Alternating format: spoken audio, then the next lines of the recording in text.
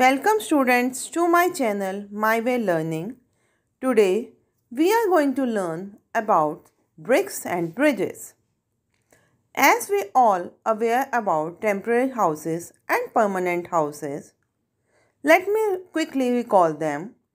Houses like huts, tents, tree houses and log cabins which are made up of mud, thatch, straw, bamboo and wood are known as temporary houses.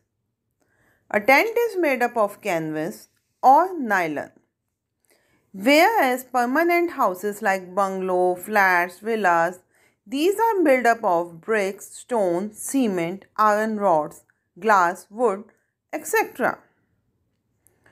That houses were known as permanent houses.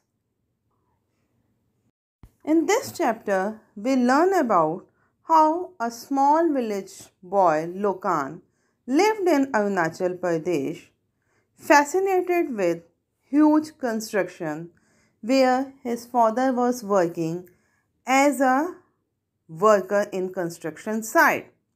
Lokan lived in a hilly area with a very small population and his house is made up of mud, bamboo, straw and dry leaves. As we can see that his house is built up on bamboo sticks. Can you tell me why?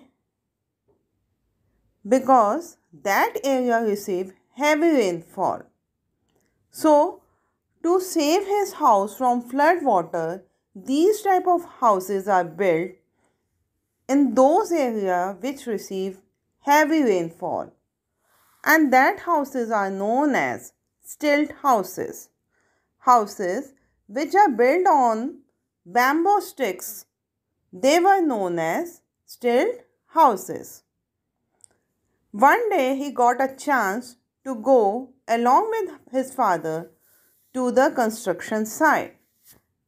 Now let us see what's happened over there At construction site, he saw different type of material were lying around and people were doing different jobs.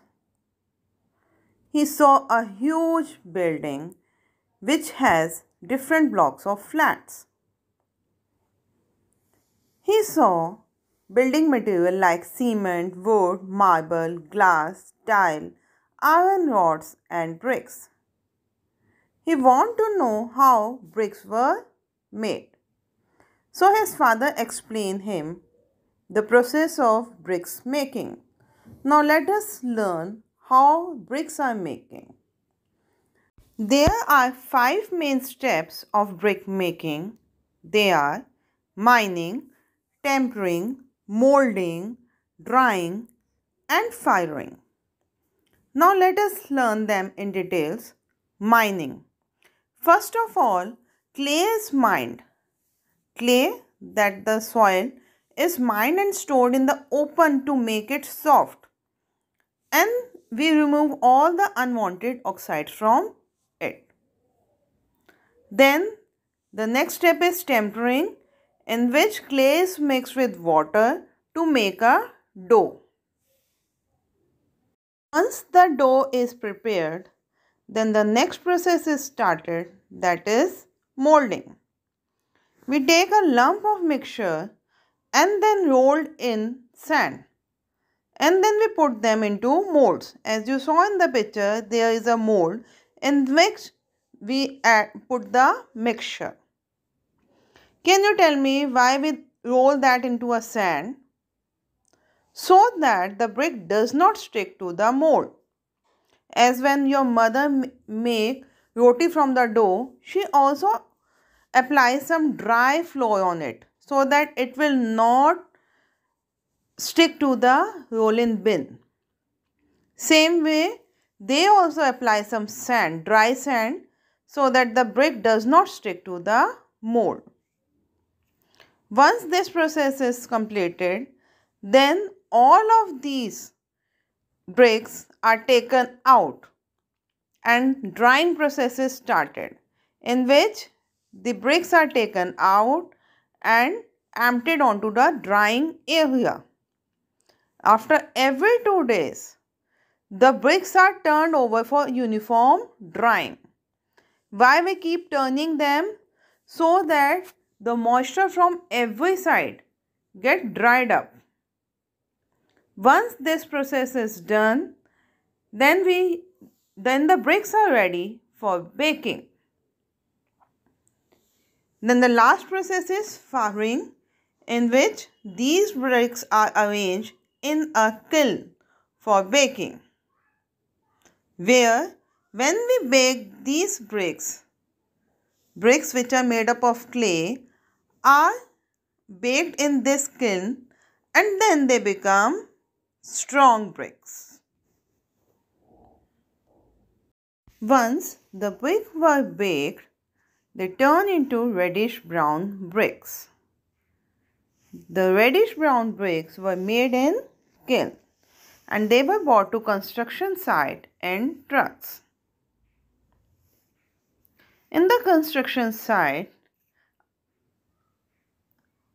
Lokan met with Ayan who told him about different type of bridges. Now let us learn different type of bridges. One is suspension bridge. Have you ever go through with Lakshman Jhula? That is the example of suspension bridge. These type of bridges can cover a long distance and were made up of wood and rope. Earlier, these bridges were made up of wood and rope only, but now they were made up of steel. Have you ever heard about Howrah Bridge in Kolkata? That bridge is an example of cantilever bridge. Now what are cantilever bridges? They support the load through diagonal braces.